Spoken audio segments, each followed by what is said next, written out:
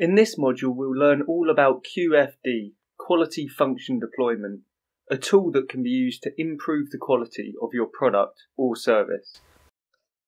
Customers are and always should be the focus of both Lean and Six Sigma.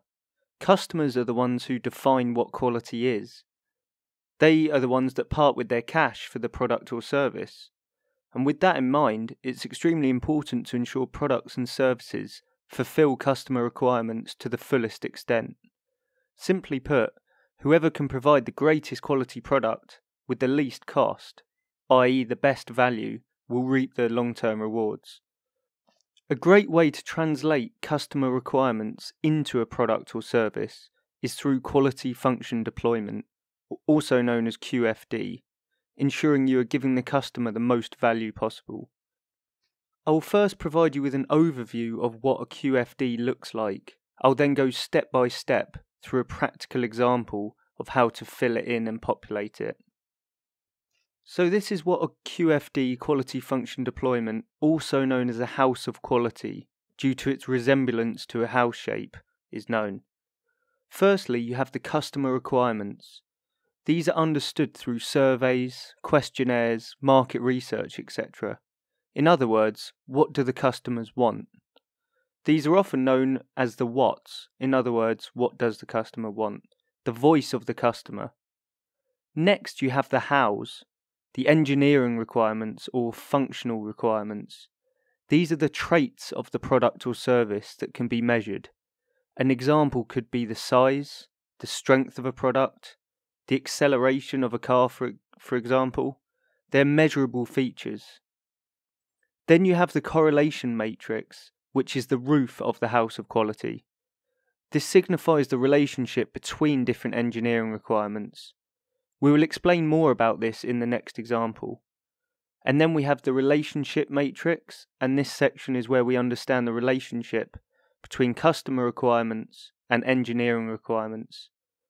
We then have the last two sections the competitor comparison, where the product or service is compared against its competitors, and finally the technical assessment, where the overall values are assessed.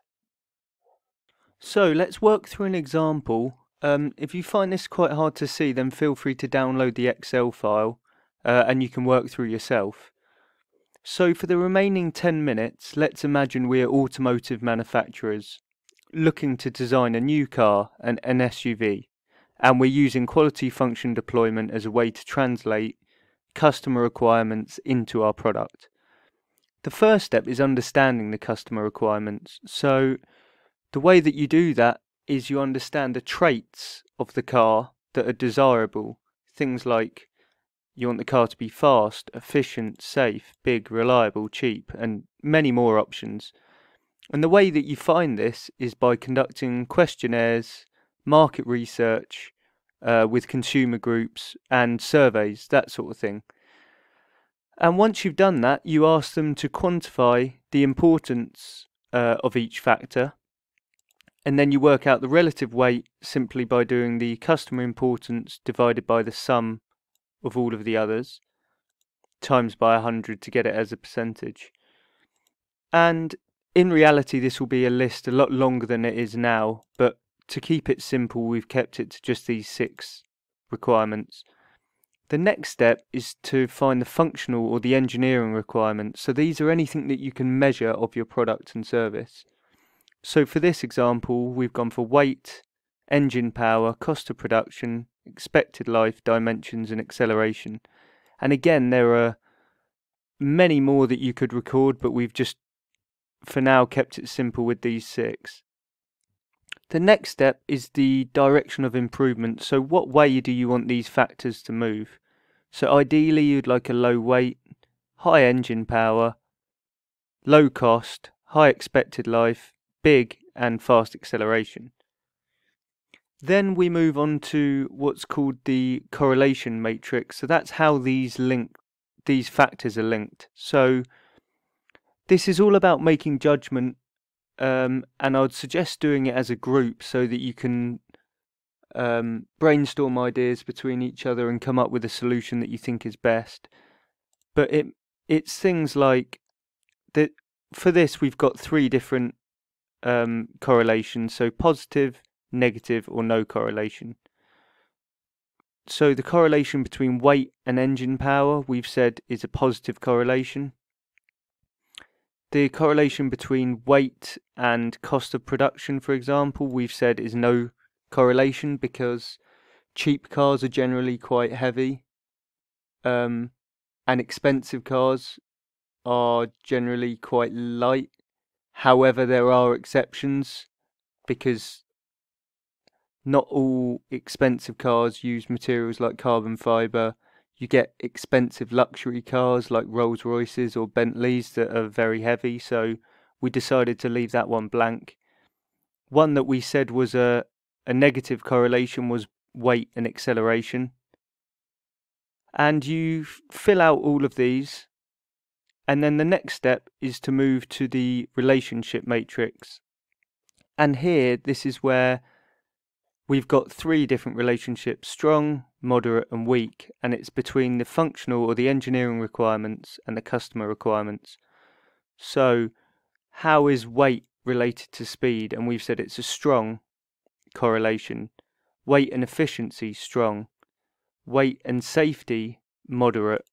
Weight and size, weak. And etc. So you fill these through, and again, try and be as accurate as possible and if you can use data to support your reasoning but sometimes there will be areas that you you can't decide between you so you need to just come up with a, an answer and state your assumptions and why. So once you've filled this out you then move on to the customer competitive uh, assessment and this is where for each of these customer requirements how does the product that you're looking at compare? And for this example, we've done just a scale of one to five. So five would mean we're we're doing really well in that aspect. One would mean we're not doing so well. So, for example, what you could gather from here is our product is not very efficient compared to some of its competitors, and also that efficiency is the highest relative weight. So, that could be a, an area for improvement for us that we've just spotted there. Um, again, try and use data for this. So if you can, a lot of these figures, miles per gallon, safety figures, they're available online or they, they can be found. So try and use that to, to justify your rating. In terms of a 1 to 5 scale, you could use a 1 to 10 or even 1 to 100 scale if you want. Uh, it's up to you. So now once we've done this, this is the, the key part here, the technical assessment. And what this does is it works out the importance of each of these engineering requirements. So, for instance, we've given the strong relationship the value of 9, the moderate relationship the value of 3, and the weak relationship the value of 1. And that's quite common practice with QFD to do that. So 9, 3, and 1. And the way that you calculate this number is you do 9, because it's strong, times by 20, because that's the relative weight, plus 9 times 23, plus 3 times 16, plus 1 times 9, plus 1 times 11, plus 1 times 20, and that will get you your answer and you do that for all of these and then you end up with a relative weight and a technical importance rating. And this helps identify which of these engineering requirements functional requirements should we look at and are most important. And that is essentially the the purpose of a QFD to identify the customer requirements how can we translate them into functional requirements, how can we quantify it and then assess areas for improvement and areas of importance? So, looking at this, the weight as an engineering requirement is shown to be the most important technical uh, technical feature. So that is perhaps somewhere we should look at. Whereas the dimensions are actually the least important uh, factor.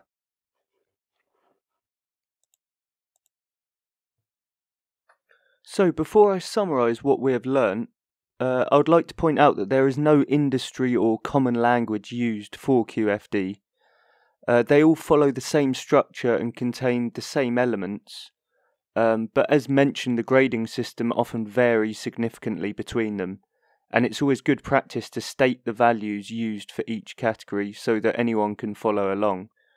So, for example, strong is 9, moderate is 3, weak is 1, and there's a scale of 1 to 5 here.